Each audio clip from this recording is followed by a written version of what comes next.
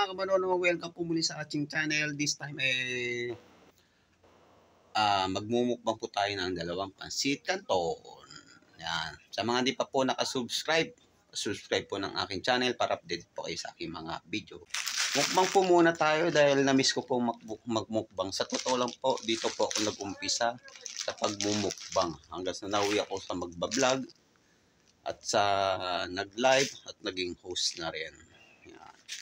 Tayo nyo lang po, dati pong pakukuluan lang to, eh, madali lang naman po ito pakuluan, kaya saglit lang po ito mga kapano no. Ito na po yung ating mumukbakin at naluto na po yung ating pansit canton. Ayan, hinalo ko na rin po siya. Ayan, Ayan na tapo ha. Ito na po. Ayan.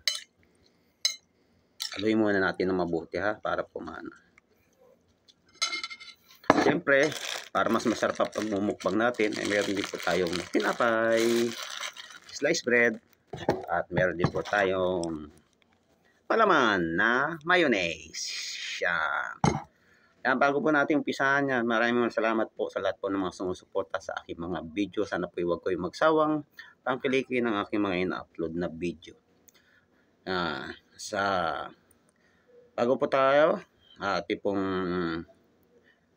Pisan, pag bumukbang, yan, shoutout po sa inyong lahat mga kabanono.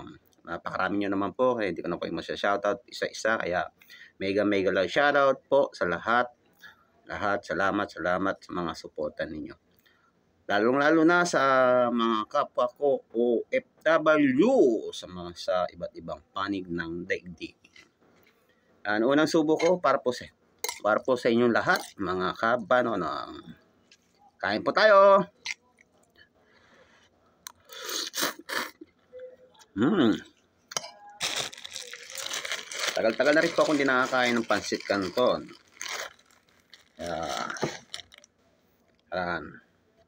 Palamanan po natin na para mas masarap lalong ating mukbang. Ito na rin dahil ako rin naman po kakain eh. Wala naman po ibang ano. Kaya ito ang gamitin ko. Ha? Ayan. Yung mamaya, ano natin yan. Pala. Lagyan na rin natin para medyo masarap. Ayan ha. Ayan. Tara, kain na po. Hmm. Masarap. Hmm.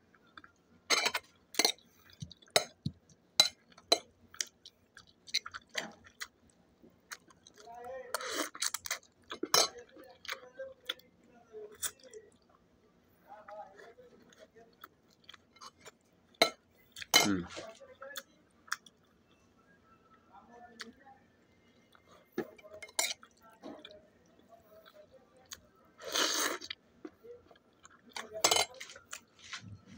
Ah, well.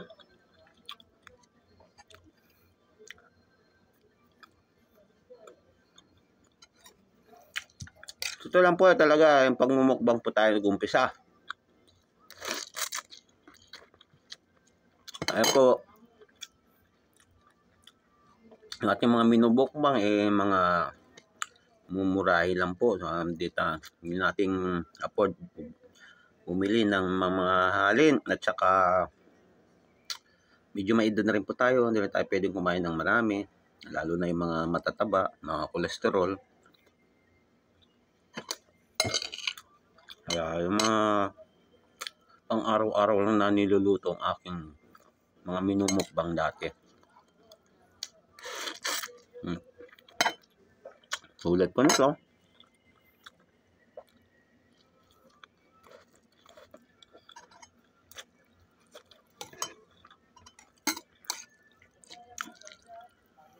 Hapon.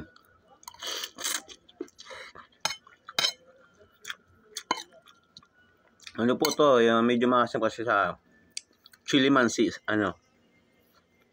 Flavor. Hmm?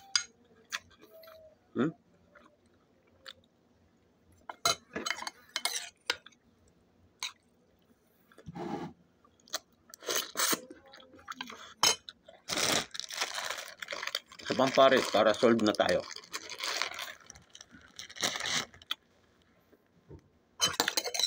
Ito na lang, wag na natin lagyan ano. Para marami. Marami na kasi siya eh. Ayan ha.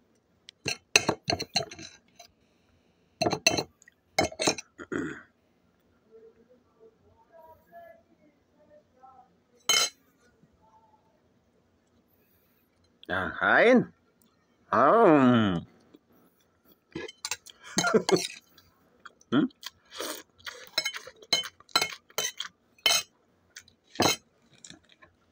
Wala po tayong soft drinks kasi hindi naman po tayo mahilig. Tubig lang po. Hindi po to soft drinks sa tubig lang po laman ito. Hmm. Ang sarap. Hmm. Oh, bobosan ko. Walang ano. Walang tubig lang po siya.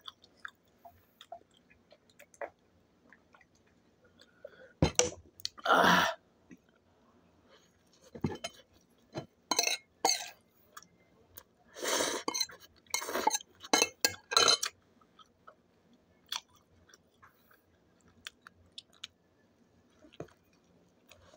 Hmm.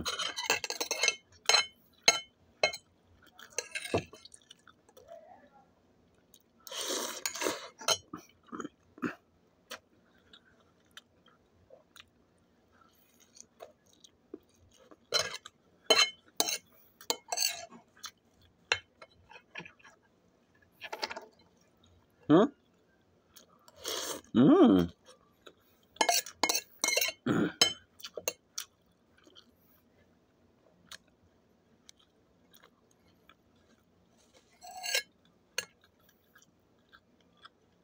Hmm, ulit. Bulokan ako eh.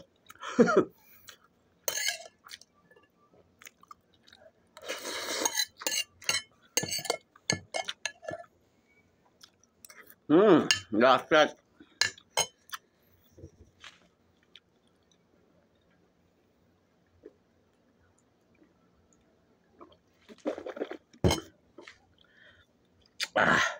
Ay salamat po ma. Ayan. Ah, hanggang dito na lang po muna at sa ating pagmumukbang dahil naubos na po natin. Mahirap na pong magluto pa ulit tayo dahil busog na tayo. Mahirap naman yung kumain tayo sobra-sobra. Yung kumaga, tama lang. Lalo na sa mga may edad. Huwag na tayong kumain ng sobra-sobra. Yung tamang-tamang pagkain lang. Uh, sa muli, ako'y muling nagpapasalamat sa lahat ng mga suporta mula noon hanggang ngayon sa mga nakasama ko sa aking pagbablog. Maraming maraming salamat na yung iba nagsiuwi na. Kaya thank you, thank you sa lahat po ng mga suporta nyo. At dito na lang po mulit. Ingat at God bless po sa inyong lahat.